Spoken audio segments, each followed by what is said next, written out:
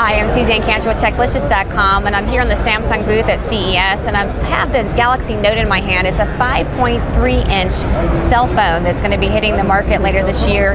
Super AMOLED Plus display, so obviously beautiful, you know, bright poppy colors. It's going to be great for video. What's different about this is the fact that it has a stylus in it, and this enables you to do things like writing. It has 256 levels of pressure, so you can do things like drawing and be able to annotate um, web pages. It would be great for students who want to be able to take a quick snap and be able to send something off. Um, the question is, though, this is sort of a cross between a cell phone and a tablet. Is this going to be too big? Are people going to want to hold a 5.3 inch display up to their heads? And so it's going to be interesting to watch and see what, what happens. Again, Samsung Galaxy Note coming later this year.